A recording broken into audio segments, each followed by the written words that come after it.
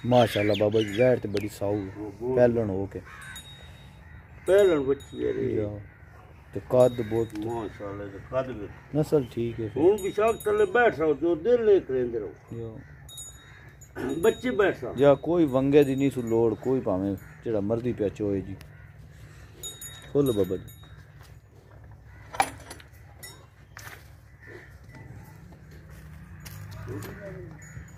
ਜੀ ਜੀ ਜੀ ਉਹ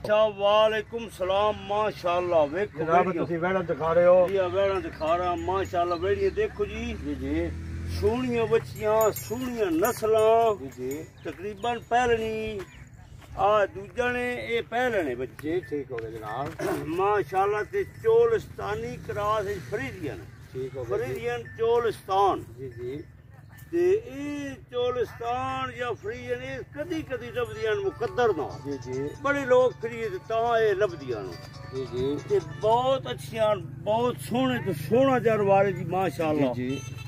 ਤੇ ਅੱਗੂ ਲੈਣ ਦੇ ਨਸੀਬ ਨੂੰ ਭਾਈ ਸਾਹਿਬ ਜੀ ਜੀ ਵਛੀਆਂ ਚੰਗੀਆਂ ਮਾਸ਼ਾਅੱਲਾ ਜੀ ਮਾਸ਼ਾਅੱਲਾ ਦੋ ਦੋ ਇਹਨਾਂ ਜਿਤਨਾ ਪਾਣਾ ਇਸਣਾ ਇਹਨਾਂ ਦੇਣਾ ਦੁੱਧ ਦਾ ਇਹਨਾਂ ਕੋਈ ਬਾਹਰ ਨਹੀਂ ਆ ਛੋਟੀਆਂ ਨਹੀਂ ਮਿਲਦੀਆਂ 20 20 ਸੇਤ ਬਾਅਦ ਦੇਣ ਵਾਲੀਆਂ ਇਹ ਠੀਕ ਆ ਜਨਾਬ ਇਹਦਾ ਕਿੰਨਾ ਟਾਈਮ ਲੈਣਾ ਸੋਨੇ ਵਿੱਚੋਂ ਇਹਨਾਂ ਟਾਈਮ ਜੀ ਲੈਣਾ ਤਕਰੀਬਨ 6 ਤੋਂ 7 ਜਾੜੇ ਕੋਈ ਕੋਈ 6 ਜਾੜੇ ਕੋਈ 8 ਜਾੜੇ ਤਕਰੀਬਨ ਹਫਤੇ ਦੇ ਵਿੱਚ ਕਰ ਰਹੀ ਇਹ ਠੀਕ ਹੈ ਨਾ ਜੀ ਸੁਣੋ ਮੈਂ ਮਾਸ਼ਾਅੱਲਾ ਤੇ ਜਨਾਬ ਇਹਨਾਂ ਦੀ ਛੋਟੀ ਜੀ ਡਿਮਾਂਡ ਉਹ ਡਿਮਾਂਡ ਰਾਂਦੀ ਜੀ ਅਸ ਬਿਲਕੁਲ ਛੋਟੀ ਜੀ ਹੈ ਸਾਡੀ ਅਸੀਂ ਢੇਰ ਡਿਮਾਂਡ ਨਾ ਕਰ ਕਰਾ ਸੀ ਨਾ ਜੀ ਜੀ ਇਹ ਉਂਝ ਵੇੜਾ ਵੇਖੀ ਤੇ 4.5 ਲੱਖ ਰੁਪਏ ਦੀਆਂ ਜੀ ਜੀ کہ ساری صرف چار لاکھ روپے جی ٹھیک ہو گیا جناب ساری لوکیشن ہے ضلع سرگودا رابطہ نمبر ہے جناب حاجی محمد اسلم وڈیج ساڈا ضلع ہے سرگودا جناب تے سرگودا دا چھوٹا جا شہر ہے جاوریاں جاوریاں نال ساڈا گاؤں جناب حیات پور رابطہ نمبر ہے جناب زیرو تین سو اکتالی چھ سو بانوے بتی زیرو پانچ زیرو پورا تین سو انانوے تریہٹھ چھ سو نبے سب دوستوں بھائیوں بچوں گزارش ہے کہ ساڈا مویشی منڈی چینل ضرور لائک کریا کرو ہر وقت تو نئے تو نیا اچھے تو اچھا جانور دیکھنے واسطے خریدنے واسطے ملے گا سب دوستوں کو بھائیوں السلام علیکم بہت شکریہ جی۔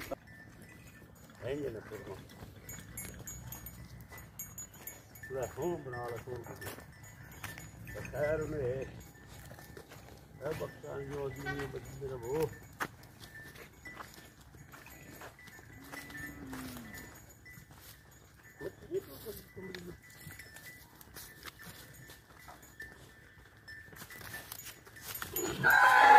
ہاں۔ گھبراہٹ ودی بنائی